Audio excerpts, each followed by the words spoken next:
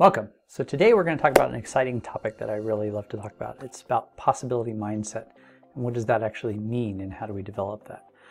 So the first piece we really are trying to harness here is really disrupting your own way of thinking. And the reason that's so important in innovation is so that it allows you to take the blinders off. It allows you to expand your horizons as to what you think can be done. Um, it's what great visionaries uh, do, be able to see beyond what most everybody else does. So let's kind of dive into that topic. But before we can really talk about possible, we really have to understand ourselves into what is, what is it that we think is impossible? And why do we believe that things are impossible? There's a whole myriad of reasons for that, but let's break it down. One of the things is we're told no you know, when we're really little, when we're uh, kids. And, and that's fine because there's safety reasons as parents. You have to be able to protect your kids from things. So, but you're always uh, being told from very early age, you're being trained, and this is how we've survived, that you're not supposed to do this, you're not supposed to do that. Don't go here. There's a sign that says don't do this. Uh, this is not something you can do. Um, and then you get taught later on by a lot of dogma that certain things are impossible. That's actually okay for training and for survival. Um, those are things. But when it comes to innovation, when you're really trying to push the boundaries, we need to be able to expand back outside of that context. So, with all the choice of choices of what to believe in, uh, what rituals we need to follow, um, what faith do we need to have, what type of logic should we use, um, what type of science uh, is the most appropriate. Uh, all these things makes it very confusing for us to decide where are those boundaries? Um, and are they appropriate boundaries? Are they not appropriate boundaries? Um, and what is actually the limitations of that thinking? Maybe we're, we're missing something. So again, just to kind of summarize, we are told by authority, authority figures vary in, in your life. Uh, and this is kind of what we get to the definition of dogma. It's where the belief system is so strong in whatever a fact is or a thought is um, or an opinion is that it becomes the de facto standard. And it's a consensus of believing, belief systems. So our worldview from a very early age gets very biased based upon our culture, our, our upbringing, um, what things we're exposed to in life, and it starts defining this thing we call frame of reference. So early on, we're actually put into a box that we don't see. And this is actually one of the concepts that we're trying to do is trying to break open that box, trying to look around, get outside of that. Okay, so I'm going to give you five techniques on how we can do this. Number one is, first of all, we need to challenge dogma. Uh, but you got to do it in a responsible way, something that actually has some credence. Opinion is not enough. Opinion, anybody can throw an opinion about anything out there, and there's no way it's just right or wrong. It's just is what it is. So you need to back it up with something. And that's where logic and evidence come in. Uh, this is where the scientific method really pushed the boundary of what does that mean with logic and what does evidence mean and how do you gather evidence and how do you know that evidence is proving something versus disproving something. The whole field of statistics is involved in that process. So essentially what we're getting around to is where we're going to use data and direct experience because sometimes um, there's an experience that's so profound that inspires um, investigation. Uh, that's actually called a noetic experience when it's direct, uh, but also grounded by compassion. And the reason I add that in there is because we don't want to lose sight of our ethics. We don't want to lose sight of our morality in the sense that just because we could do something or travel down something, maybe there's boundaries that we should have for other reasons other than just pure exploration. So those are types of things. And we could go a whole class on, on just that topic. So in that regard, um, going through this process, there are some pitfalls um, and, and different beliefs traps. So let, let's take some examples here. So let's take, for example, a dogmatic belief and then we'll compare it to some reality. So in a dogmatic belief is all scientific laws are created equal, that they're all a law that cannot be violated, and so on. Well, history has shown us that in reality, a lot of laws actually are violated, and once they once they get violated, then we realize, okay, well maybe this one isn't a law, maybe it's a general rule. And there's some other scientific laws that still to this day have been tested and tested and tested, and have upheld um, the rule the rules that it that it states, like general relativity. Still, we haven't had had a a violation of general relativity. So they're not equal. Some some are very robust because they're tested and tested and tested, and that's the whole point of the exploration and, and science endeavor is to test these things that we think we know.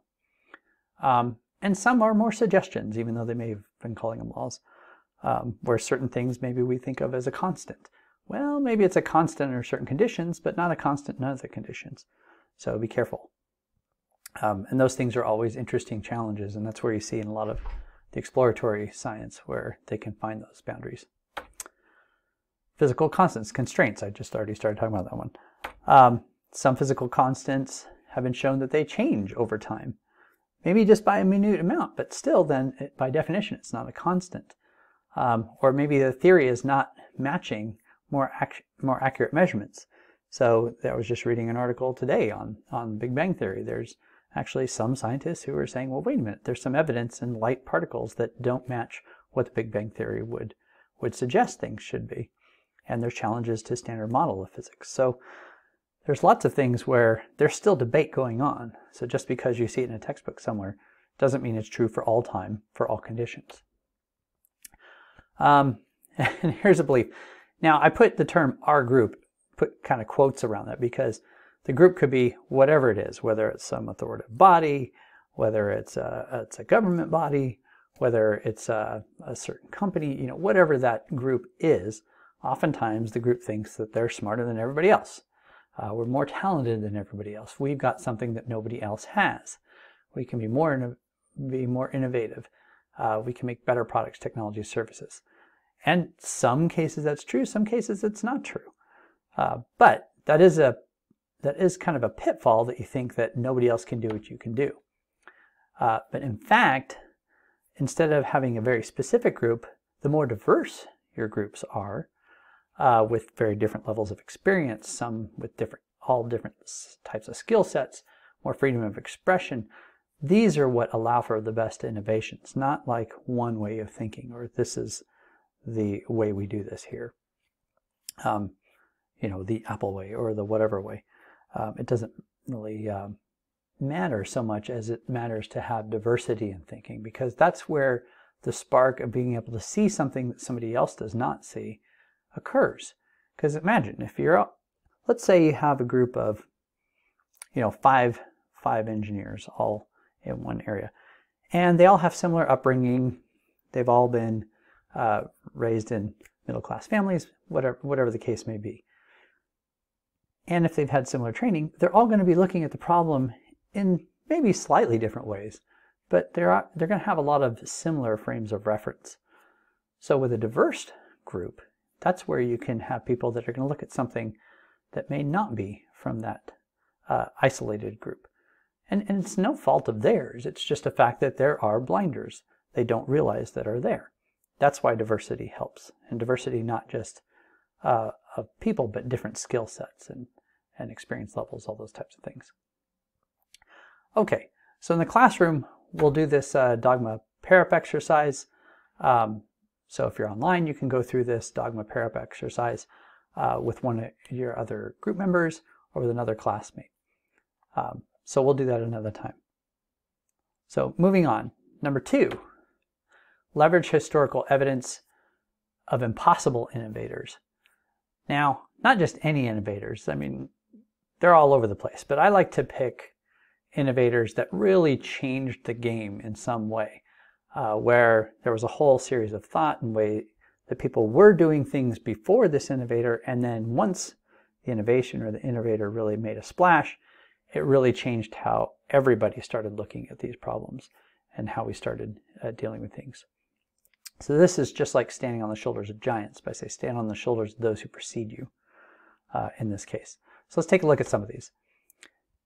Human flight was considered impossible before it wasn't, right? So we have Wilbur and Orville Wright um, way back in the uh, early uh, 1900s.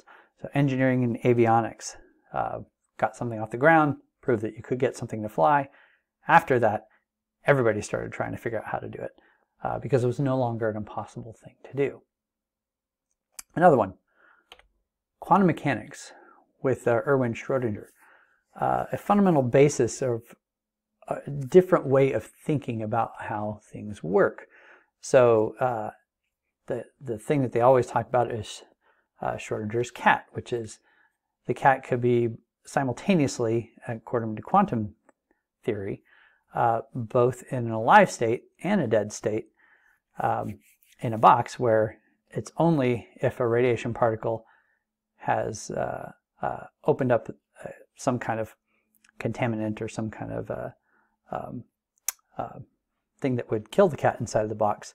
But unless we look inside the box, we don't really know whether that's happened or not. So it could be either either way. Um, so that's just kind of an experiment, a thought experiment. Uh, but what it led to is a whole bunch of other uh, quantum ideas. And actually, the Schrodinger equation uh, really takes Hamilton operator with uh, multiplied by a wave function, and it gives us a different definition of energy in terms of a wave function. So this is how we started redefining how we look at matter instead of like these particles, these things uh, that actually can exist as a wave. And so that um, even if we take the smallest unit of like an electron or a photon, uh, that it doesn't just exist as a thing, a like a like a ball, but it actually spreads out across everything until we actually observe it. And that completely changed and is still changing today how we deal with physics and even is changing computing. Speaking of computing, modern computation, uh, what we do now with bits really came from Alan Turing. Now, in, in earlier lectures, uh, this was kind of a, a big deal until it actually became more of a mainstay in, in the, uh, the common lexicon and pop culture once they had uh, the imitation game came out because that's when things were declassified and you could find out what Alan Turing actually contributed during World War II, um, but created the Turing machine. It used to be they thought that it just um, created the papers that supported that and the theories, but it actually turns out he was he was more involved than that. And so this is huge as far as how information and computational science um, uh, redefined what we could do because it used to be we have to code things ourselves. Well, what he created with the Turing machine is a universal computation system. In other words, we could now, with the universality of, of computation, we could take this idea that, okay, now we have a system or a way of computing or modeling anything, literally anything. And that was what the, the proof in the paper uh, uh, worked out to be. And then, so the point is that they could compute and do things that human beings would take centuries to do. Uh, and that was the idea of, of computation. Now, it took, took a while to get through that, but the first thing that they decoded was the Enigma machine that the Germans used. And, and that was profound because otherwise it was going to take people every day and, and you know hundreds of people and they couldn't they couldn't crack the code and the Germans knew that so this was a different approach entirely so that we could actually do tons of things um, and compute uh, much, much faster. Uh, now, the other, the other idea here is that not only can you compute or model anything, uh, there are some limits in the sense that we have limits on capacity of memory. Uh, maybe we have limits on how fast we can do things by computational speed uh, and other things. So there, there are some boundary conditions on, the, on these types of things. But fundamentally, from a theoretical standpoint, you could build a computational machine that can model anything. Uh, and more interesting theories that are going on now is the fact that uh, they think this is actually happening in nature, uh, that nature is already doing this, but from a biological computational standpoint. Okay, so another thing, fractals. Fractals were not too much of a thing until somebody made it a thing. and and uh, then they started having all sorts of different types of fractals. And for people who are not in the mathematical world, a fractal is this concept of dimension. So when you think of normal dimension, people think of it as like, oh, well, there's the first dimension, second dimension, third dimension, which we think we're in, uh, plus a fourth dimension if you think time, or fourth dimension is something else, um, the expansion or collapsion of a, of a fourth um, dimensional space instead of time, and time's a dependent, um, or sorry, an independent variable. Um, but regardless of how we think about that, these were very standard one, two, you know, basically whole number dimensions. And so other people started thinking, well, wait a minute, does that have to be whole number dimensions? What if we have uh, a fraction in that exponent? Uh, and the term fractals came about. Well, it turns out there was a lot of research that dove into that. Uh, Benoit Mandelbrot um, was one of those big contributors in, in fractals. In fact, uh, the set named after him, the master set or the Mandelbrot set, is ironically a set of fractals that contains all the other fractal sets that they have found within it. And in fact, it's so profound that it has an infinite surface area. If you were to try to calculate all the surrounding area on the border, so if you look at the, this is actually kind of a, a zoomed out picture of it. If you were to try to go and zoom in on all these borders and try to calculate the entire, um, uh, I guess, surface area, or I guess the parameter, perimeter of this whole shape, um, it's infinite because you can keep zooming in and you keep finding more context and more context. And so they use these types of things actually in computation. They use it in compression algorithms for satellite imaging, all sorts of really fascinating things. Um, speaking of uh, computation, again, universal computation giving rise to complexity. So this was a concept that really was uh, pushed forward by Wolfram, who had already made a lot of, of pushes forward in the computational space. In fact, he's also uh, founder of, of Wolfram Alpha, of Mathematica, which does high-end mathematical computations, um, all in discrete space uh, for all types of mathematics, all the way up to the you know, high-end physics and all those kinds of things. Um, fortunately, I, I, was fortunate to be able to study with uh, uh, Stephen Wolfram over a summer school and back way back in 2003, um, where we were studying this new kind of science. And this is actually where this idea of giving rise to uh, complex systems and complexity, which happens in life, uh, that can come out of these universal comp computational systems. So without going into too much detail, there's a lot of uh, work and offshoots of new ways of looking at things uh, from this computational framework. Um, the idea of distributed encrypted digital immutable, meaning you can't change it, uh, peer-to-peer -peer money uh, was not really a thing until 2009. And in 2009, somebody or some bodies, we don't know, that's why I have more than one picture there, uh, under the pseudonym Satoshi Nakamoto, uh, created what we call now Bitcoin. Uh, it was the first uh, implementation of the blockchain technology for peer-to-peer -peer, value exchange and still exists today and all the other cryptocurrencies or everything else uh, that's derived from that, all the other blockchain technologies and projects, whether they're centralized or decentralized, all these things arrive after this. So this was actually the catalyst event. And it actually happened because of the recession. Uh, somebody or somebodies uh, saw what was happening with the banks, how the banks got bailed out and everybody else got screwed as far as value. They said there's got to be a better way where we're not tied to some fiat currency like the dollar. Um, and that's really what created the Bitcoin. Now, you always see pictures of a Bitcoin uh, like this, but there really is no such coin per se. It's actually a digital representation uh, of, of value and where you can exchange, anybody can exchange uh, value, one thing for another and transfer that, that over. And this is just a, a shot of that white paper uh, that came out at that point in time. Okay, so that's still kind of an interesting mystery. All right, so number three is you need to be able to break down the dogmatic rules that you've learned, and oftentimes that means you got to face some fears to do so. Um, this is oftentimes what holds people back from great innovation or, or great thinking in general uh, because there's always a fear, because you're actually going out on a limb. Um, you're actually questioning things that other people are telling you this is how it is. Uh, and so lots of different fears. Fear of conflict come up. Fear of I'm going to fail or, or maybe I just can't do it. Or being ridiculed about, hey, that's you're not toeing the line in the right direction. What are you thinking? That's something different. Um, and those are really the lesser fears. The greater fears, not so much in this country, but other countries, could be a fear of exile.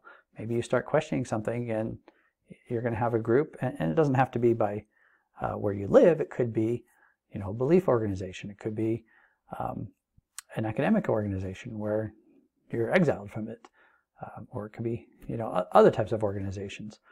Or in the worst case scenarios, in some places you get persecuted for for not uh, toeing the party line, things like that. Uh, so you got to you got to look at those things, but to be able to get through and face those fears and be comfortable and fine with that is very necessary to be able to get past those dogmatic rules. So what are some examples? And these are kind of lighthearted examples, not very serious examples. So when you hear something, and, and these are English based, of course. Um, so if somebody says, what goes up, usually most of you can follow that sentence and say what the rest of it is. Usually must come down. Um, if you're not with us, and what some of the saying is, you're against us. This is something that George W. Bush said during the second Iraq War. Uh, ironically, and I think this is kind of a funny statement, but it actually is true.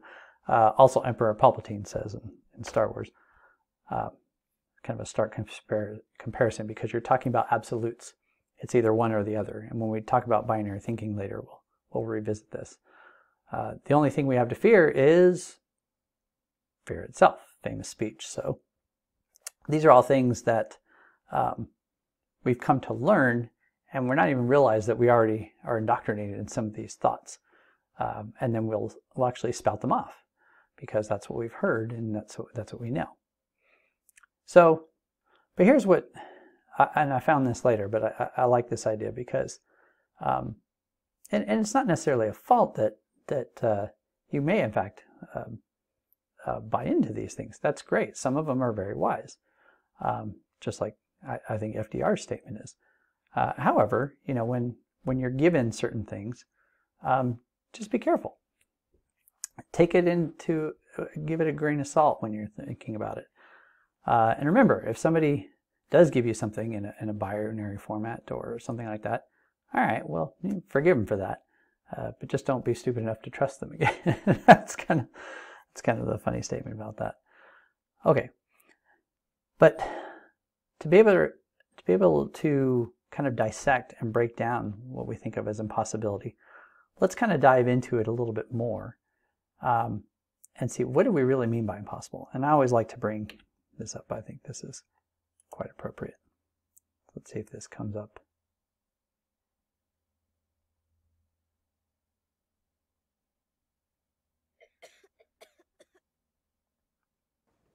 Why are you doing that?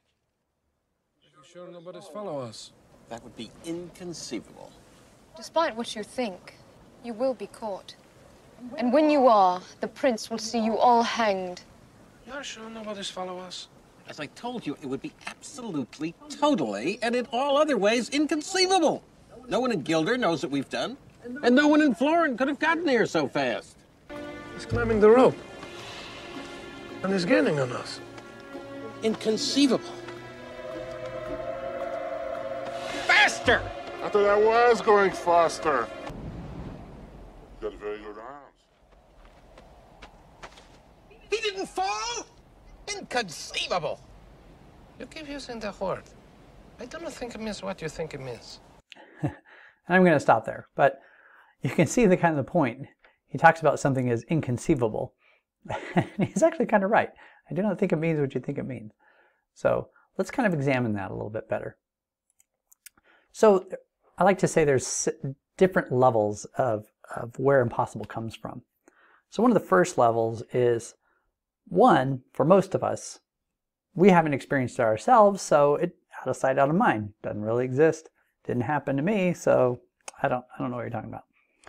So this is called not noetic. It's it's not ingrained in us. We didn't actually experience it ourselves. So that's one level of thinking of where something doesn't happen, isn't possible. Um, or we're told so, we're educated. Now, this could be formal education, it could be from our parents, it really doesn't matter. Uh, but at some point, we're told that something isn't possible, like you want to go jump off the roof to see if you can fly.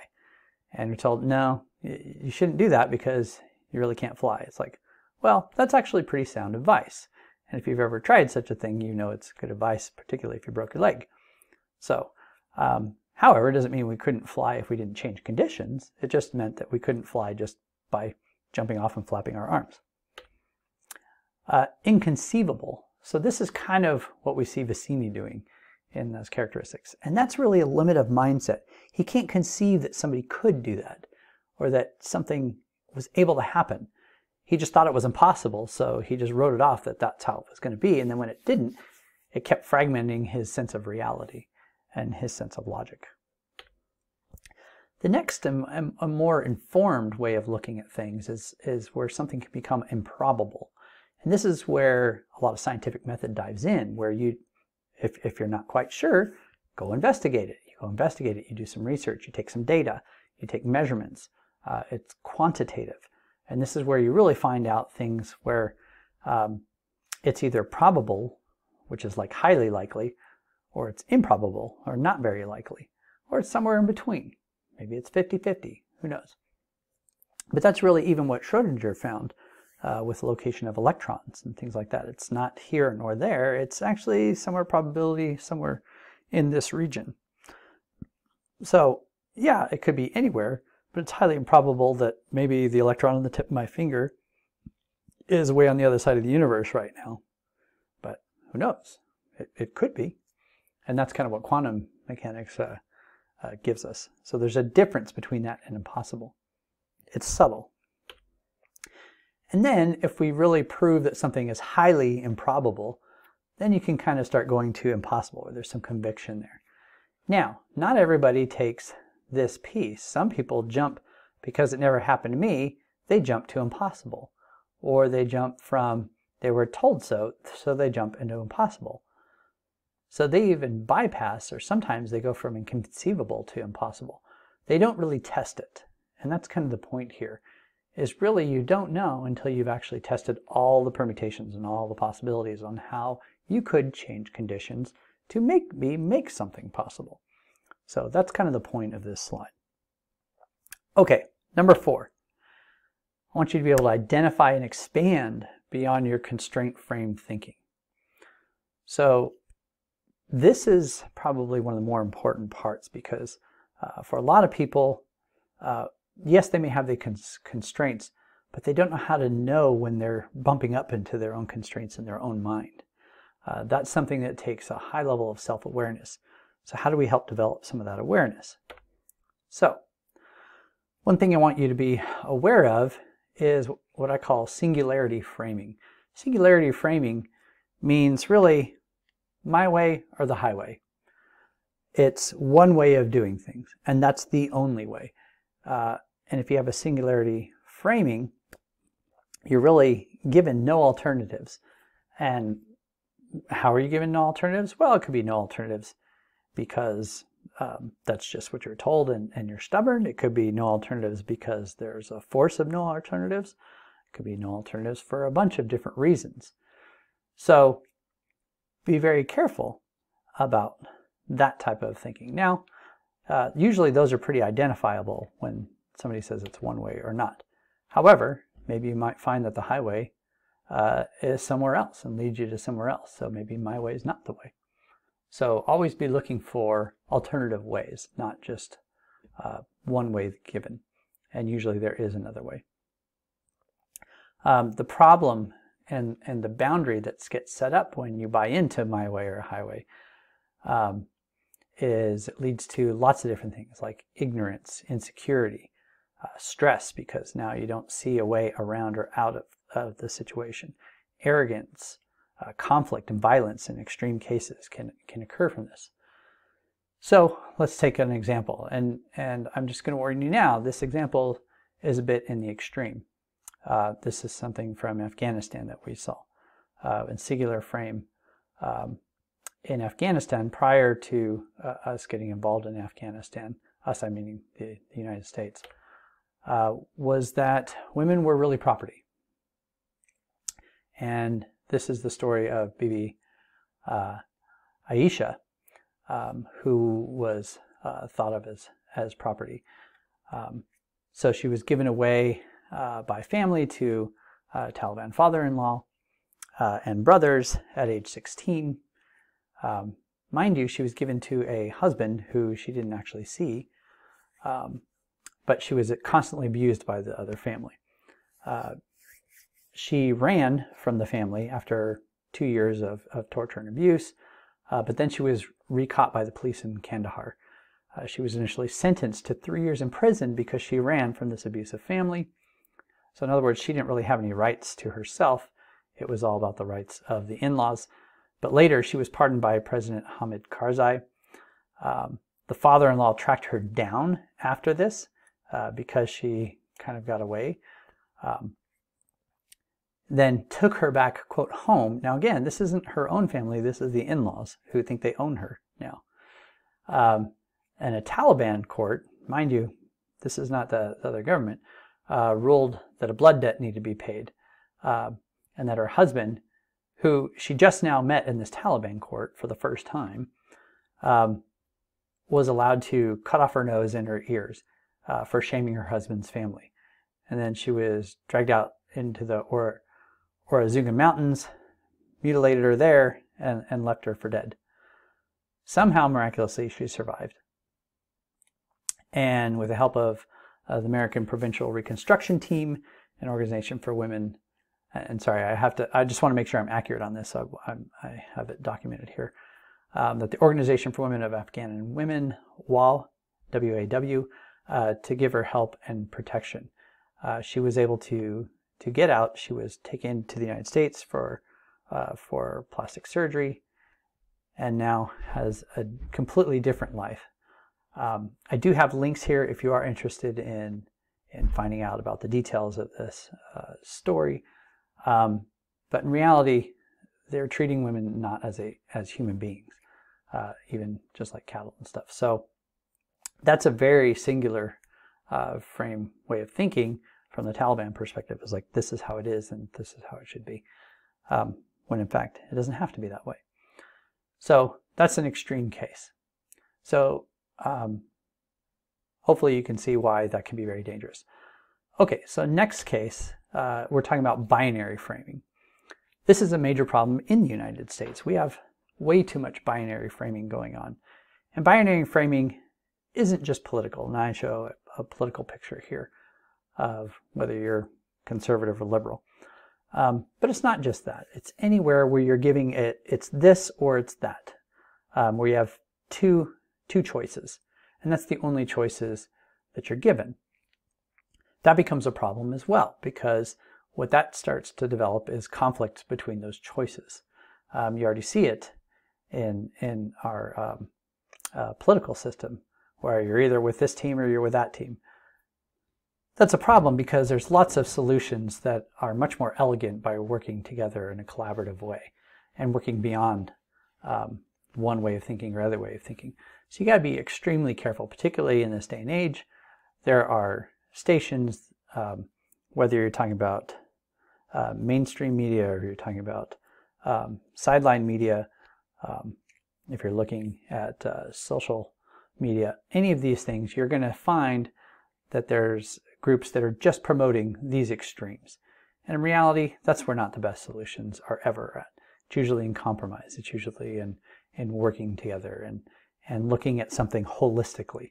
That's why doctors have gotten away from that. They started moving toward integrated medicine, where you get a team of doctors from different perspectives, different backgrounds, different training to look at a patient holistically and come up with a far better solution than they would if it's just this way or that way. So it's the same thing across there. Um, also with belief systems of, of religion. So you see the problems of if everything is the way uh, early Christians said back in the 13th century. Uh, we had the Crusades and we totally decimated millions of, of, of Islamic belief uh, folks and Muslims, and, and that is no way to be. Likewise, it's no way for uh, the extreme of the opposite to attack towers and things like that all those types of things are become conflict because it's one thing versus another thing. Um, and again, it, it creates this conflict of duality. And in reality, life is a plurality. It's not duality. So the problem is it keeps uh, developing conflict um, in binary framing. And again, this, this is true for innovation as well as, as uh, general thought. Okay, so what's a different way to go? So if we don't want to be cornered into a single mindset for life, be very wary of what, you know, whether it's one team or another team is trying to tell you to do. Um, try to think outside of that. Try to globally reframe your thinking. Um, it's critical to counter this polarized thinking, to be able to think outside of what they're saying. Um, don't just buy into what everybody else is, is doing. You want to be able to think for yourself. And if you get anything about this, that's what I want you to get out of this is think for yourself, um, not for anybody else. And embrace the idea that singular or binary is really not the way to go. Where I think the way to go is polymorphal thinking, and that's that's kind of different things. So there's perspective thinking or polydimensional thinking if we want to frame it. It's a little bit easier to understand if we think about it from a dimension. So let's say um, we have something that we're trying to understand. Okay? And if we look at it from a top view, we're going to see uh, a certain uh, a view of whatever this is. And this could be uh, this could be a policy issue. This could be anything. Um, or if we look at it from a certain perspective, we're going to see something a little bit different. The idea here is that perspective, and, and when you think about a topic or anything, you have a unique perspective. And I'm just giving you a visualization here so that you can see what's going on. So in this case, there's a block inside and a sphere around it. And depending upon your perspe perspective, you're going to see an entirely different thing. You're going to see a different projection of what's going on. Um, this is the same thing as, as the ancient story about uh, the three blind men all uh, touching an elephant and seeing different things in their mind of what it actually is because they're touching the elephant in different places. So same concept here. So from that standpoint, realize that anytime you are addressing a problem or an issue, or even looking for an opportunity, you're addressing it from your perspective. That's why if you get a diverse team, you get multiple perspectives. The more perspectives you can get and get exposed to, um, the broader your understanding of that issue, problem, or opportunity becomes. The better equipped you and your team become uh, to getting something innovative or something interesting uh, or something above and beyond the norm out of that. So it doesn't happen being closed-minded or, or shutting yourself off from something that's uncomfortable. In fact, oftentimes that's where you find your biggest breakthroughs is by challenging what's uncomfortable to you. Another way to do this is polytemporal thinking. So again, this is in the polymorphal thinking, but now we want to look outside of different time perspectives. So you could analyze maybe how people behaved in, in certain time periods and think, how could they ever do that? That's not that's not something they should ever do because you're basing it on your perspective of today. And that's very different because a lot of people didn't have those perspectives or, or what we know today. So we have to understand that. Uh, we can also think outside of, you know, where time is now versus where time goes in other times. And that's something even in when we look at Big Bang Theory, we realize that the universe, and this is assuming Big Bang Theory is correct, uh, that from these quantum fluctuations, we had this inflation of our universe, about 13.8, 14 billion years.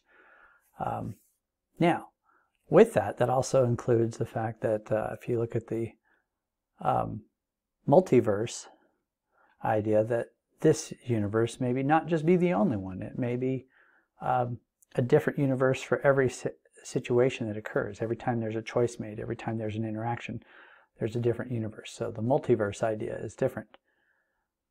So that's that's a way to look at things differently in time. There's also polyscalar. So if we look at something at an atomic level, it could look really organized if we're looking at something like a crystal. But if we look at something differently at different levels of scale, it could look chaotic, it could look um, random, it can look all sorts of things. And so this is where at different scales you start seeing different things. And this is really where that multiverse idea uh, kicks in as well. Um, at different scales, you're going to see different levels of order. You're going to see uh, different actions. You're going to see different interactions at different levels. So um, that's a great way uh, to find new ways of thinking and new ideas, and particularly new even technology innovations. We've been actually scaling down our thinking quite a bit into the material science and at the nano level. Uh, that's where a lot of nanotechnology is, is diving into. And things behave differently down there. They don't behave the same way that we see at the macular level. So that's really had to change our thinking. And abundant thinking empowers several things. Um, it allows us to have more complex views and see things a little bit differently, and then also be able to remap some of those complex views and give us a better richness of understanding. So we can see the complexity, we can see chaos involved, we can see interactions and emergences of, of systems that we haven't seen before, and we can map it back into our everyday lives and start realizing how much more there is to know and how much more uh, that we don't even understand that we're just starting to glimpse at uh, with these types of ideas. So here's a challenge technique, and this is a logic technique. So uh, we're going to use some global reframing, some deep study and expertise here. so this is a real brief version. So here I have a picture. And I want you to take a moment and look at that picture and, and tell me what it is. Okay? So all of you may come up with a different thing. And I'm not going to tell you the answer to what it is. So, so come up with an idea of what it is. Pause the video if you have to. But come up with an idea, a solid, write it down. Write down what you think this thing is. Or if you have a couple ideas, write it down. Cool. All right. I'm giving you another picture. Now, I want you to tell me now what you think this is. Again, write it down on a piece of paper, pause, take some time to think about it. Okay, if you're back, I'm going to give you a different picture. So, what is this? Again, pause the video, write down what you think it is. Okay, got that? Now, here's another picture. I want you to take a moment, write this down. Pause the video if you have to. All right, back. All right, now I'm going to show you this picture. This picture is an axiometric view of the same thing that you saw in all those previous pictures. This is the exact same thing, just from different perspectives. And this fundamentally brings home the point that your perspective really changes what you think something is, or your real belief of what something is. This turns out to be a receptor with a, a pin uh, with a retractor on the bottom, and it's microscopic in size. Okay, so that was just kind of a fun little experiment I like to do. Okay, and number five, embrace possibility as a mindset.